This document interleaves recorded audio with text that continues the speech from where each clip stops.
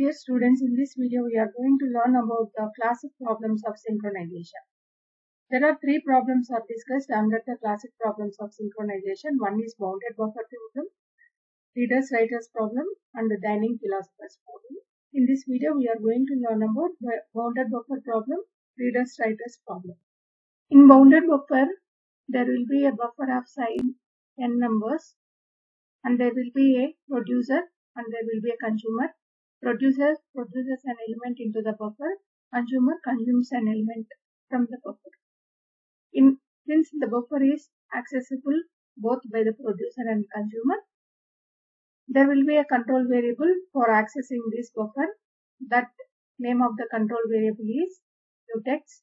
The mutex variable will be either 0 or 1. 1 indicates that the buffer is available for access. 0 indicates that the buffer is not available for access. So the reader and the writer makes use of this mutex variable in order to perform their operations in the critical section. In this bounded buffer, there are two more variables are used. One is full and the empty.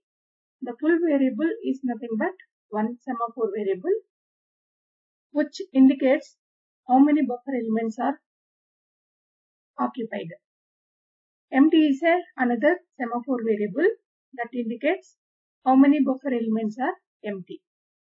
The initial value of the full is 0 because at the beginning there will not be any element in the buffer. Therefore, the full is 0. Empty is n because initially all the locations in the buffer are free. Therefore, empty is equal to n. All n elements are available for the producer. All the n elements are available. The structure of the producer problem is shown on the screen. The producer first verify whether at least one empty element is available in the buffer by checking the value of the empty variable. If empty is equal to 0, the wait operation on the empty 0 blocks the producer for entering into the critical section because all the elements are occupied. Because empty 0 indicates that none of the locations in the buffer is free. So therefore producer will be blocked when empty is equal to 0. If empty is not 0, then the wait operation will not block the producer. Control will go to the next statement. So mutex is the variable used to check entry condition to access the con contents of the buffer. So mutex is equal to either 0 or 1. If, if the consumer is not in the critical section, then the mutex variable will be 1. If the consumer is in the critical section, the mutex variable will be 0. So assume that if the mutex is 1, that indicates that no other process is in the critical section. Then wait operation on this mutex variable will not block the producer. So producer is permitted to enter into the critical section. Then he produces an element. Then he will come out of the critical section. So as soon as he come out of the critical section, he gives the signal, he calls the signal function to increment the mutex variable. So therefore, in, in this wait function call, the mutex variable value is decremented. In signal function call, the mutex variable value is incremented. So as soon as the producer come out of the critical section, one element is filled by the producer. Therefore, he has to increment the full variable to one more element. Therefore, he will call the signal function. This signal function increment the full semaphore variable. In this way, the process is repeated for all the elements produced by the producer.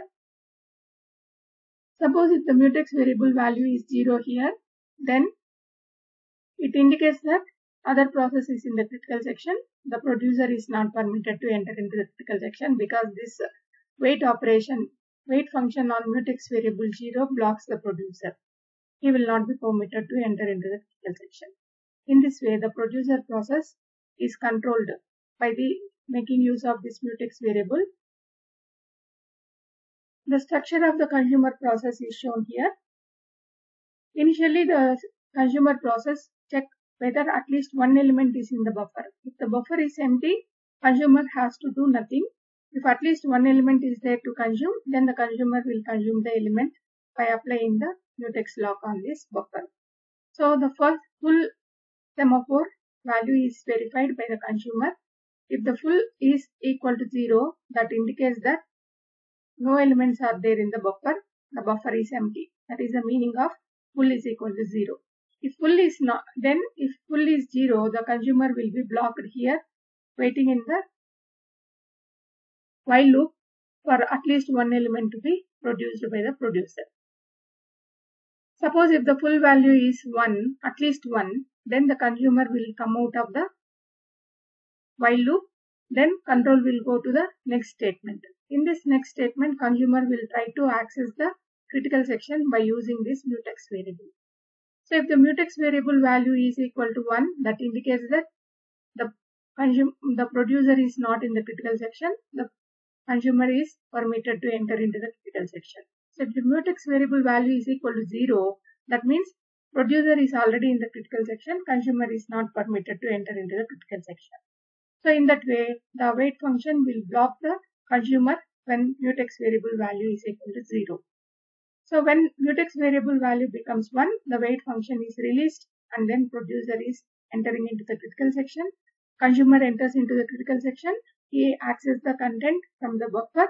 He consumes the one element. So when one element is consumed, he has to signal one empty location. That means one empty location is produced by the consumer. So therefore, he will come out of the critical section by calling the signal function on mutex variable.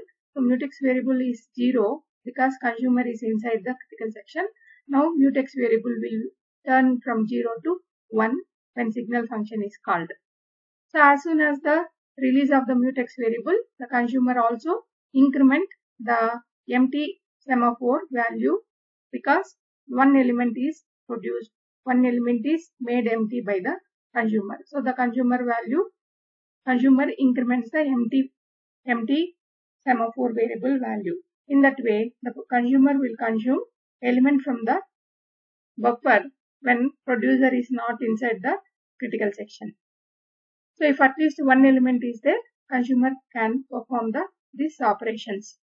In this way, both the producer and consumer make use of the mutex variable to get permission to enter into the critical section to access the buffer, buffer content. In producer-consumer problem, there will be only one producer and only one consumer to access the contents of the buffer. But in readers-writers problem, there will be n number of readers will be there, but only one writer will be there to access the contents from the shared buffer. In this problem, the readers can only perform the read operation on the dataset. They are not permitted to perform any update operations. Whereas the writers can perform both read and as well as write operations in the contents of the dataset. So therefore, multiple readers are allowed to read the contents of the dataset at the same time. But when writer is there, only one single writer can perform the shared data access at any point of time. So therefore, when one reader is performing some reading operation in the dataset, if any other reader comes, the reader readers are compatible. So this is permitted. So when one reader is reading the dataset, if one, one more reader is asking for accessing the dataset, the reading operations are compatible, therefore they are permitted. When one reader is performing reading operation and writer is trying to perform the write operation, this is denied. So read write read write operations are not compatible. Therefore, the permission for writer to enter into the critical section is denied. When writer is in the critical section and reader wants to enter into the critical section to perform the reading operation, then reader is denied to enter into the critical section because writer is performing the writing operation until the writer completes the update operation in the critical section the readers are not permitted to access the content so in that way so one reader is inside a critical section means any number of other readers are also permitted to enter into the critical section because reading reading operations are permitted but whereas read write or write read operations are not permitted at the same time so therefore how do we synchronize these readers and writers in this readers writers problem. Therefore, in this problem, there are n number of readers will be there, only one writer will be there. So, the readers and writers share the common data set. So, in order to access this data set, the reader writers makes use of one semaphore variable. It is rw underscore mutex. So, read write mutex is a semaphore variable that is used to access the common data set, both by the readers as well as the writers. Another uh, mutex variable is another semaphore variable used only by the readers because there is a read count variable. This read count variable define how many number of readers are in the critical section. So read count will be incremented by the multiple readers. So in order to avoid multiple readers to increment this read count or decrement this read count while entering into the critical section and coming out of the critical section. This mutex variable is used for controlling the readers to perform the update operation on the read count variable. So therefore, totally there are two semaphore variables are used. One is common to the both readers and writers. Another one is exclusively only for the readers. So read write mutex variable is a common semaphore variable for both readers and writers. Mutex variable is only for the readers to access this read count. This is the structure of the writer process. It is very simple because writer wants to enter into the critical section for performing the writing operation. So therefore, he will check the availability of a read write mutex variable. If the read write mutex variable is free, that means 1, then writer is permitted to enter into the critical section. If the read write mutex variable is 0, that means some other reader is in the critical section. Therefore, writer is not permitted to enter into the critical section. So, this wait function blocks the writer from entering into the critical section. Once the writer gets permission to enter into the critical section, then he performs the writing operation in the dataset. Then he will come out of the critical section by calling the signal function. So, read write mutex variable, again it will be incremented, 0 becomes 1. In this way, the writing writer process will perform its operations for entering into the critical section and then it, it calls the wait function while entering into the critical section and it calls the signal function when it come out of the critical section. This is the structure of the reader process. When the reader process wants to enter into the critical section, first it will increment the read count. In order to increment the read count, it has to acquire the permission through the read count mutex variable. If the mutex variable value is 1, then the process will increment the read count value. If the mutex variable is 0, then the process will be blocked in the wait function call. So when the read count is incremented, the value of the read count is verified. Read count is equal to 1. This indicates he is the first reader entering into the critical section.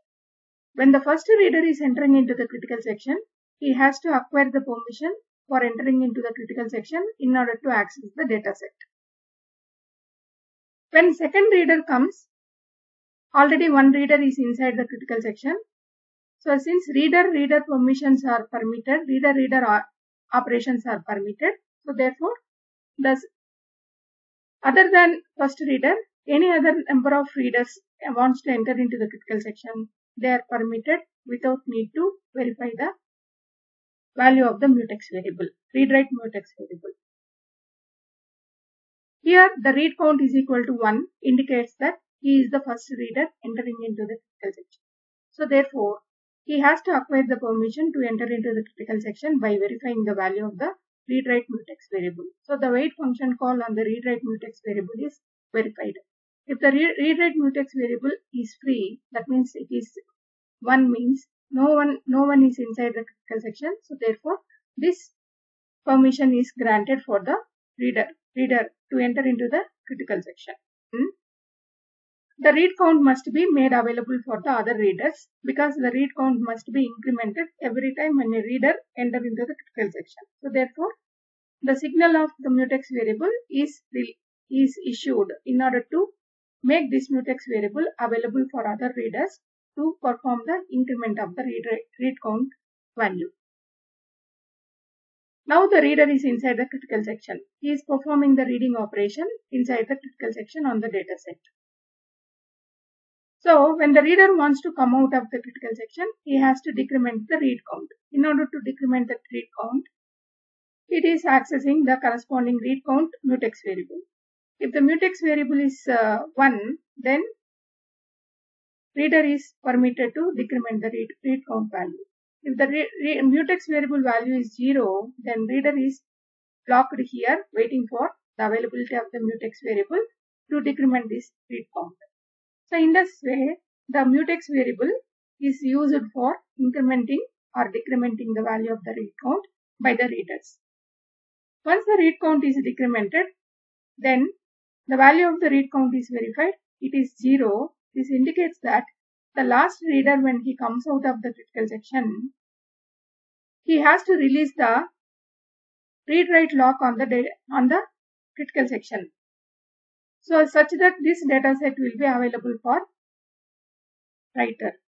So in that way, the signal function is called on the read-write mutex variable. So therefore, the mutex variable previously it was 0, now it will be turned to 1.